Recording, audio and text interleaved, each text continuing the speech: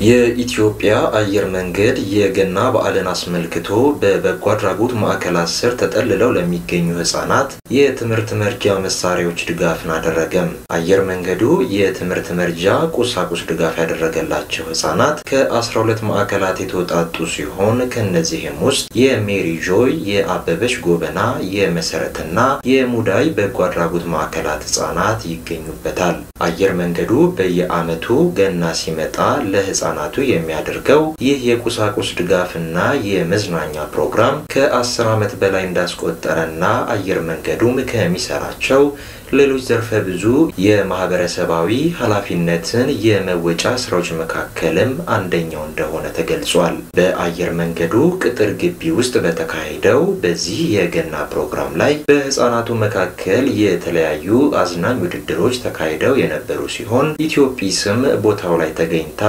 ለህፃናቱ ተረቶችን አንብባለች።